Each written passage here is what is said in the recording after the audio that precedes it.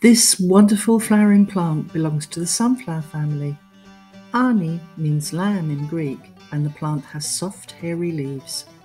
Its origin comes from Europe, but it can now be found in many places around the world. It can be found in oils, ointments, tinctures, sprays, creams, and decoctions, but it's advised not to take it raw or internally without diluting it.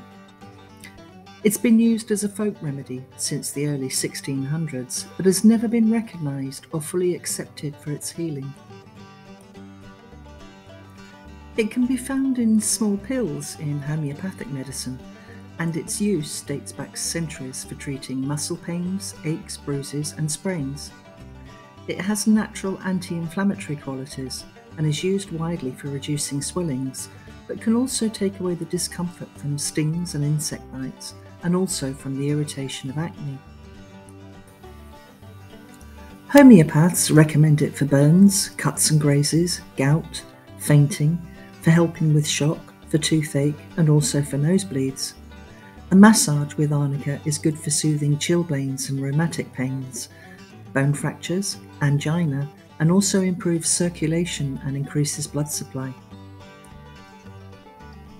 It's been found to be useful for epilepsy, for hair growth, and as a prevention against travel and motion sickness.